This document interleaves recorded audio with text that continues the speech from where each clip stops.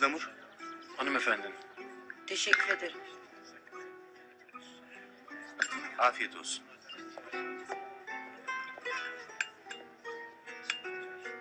Ne olacak şimdi?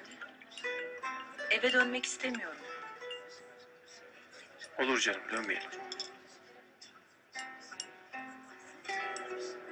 Peki söyler misin nereye gitmek istiyorsun? Kendi evimize.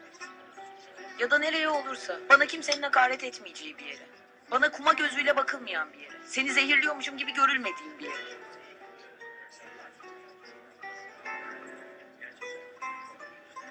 Evimi o kadar çok özlüyorum ki bazen.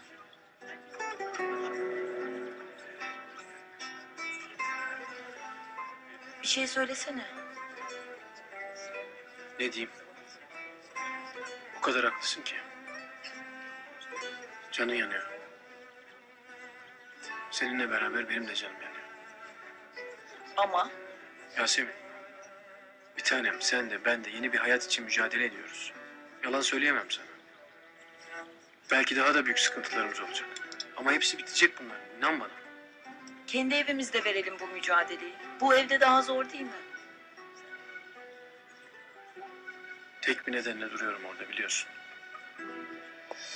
Senin, Ömer'in ve bebeğimizin güvenliği için.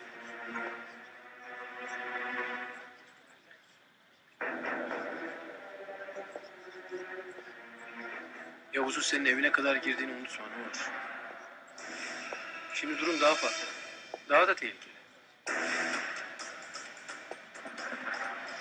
Benim bir tek konforum olabilir bu dönemde. Sizin güvende olduğunuzu bilmek. Savaş,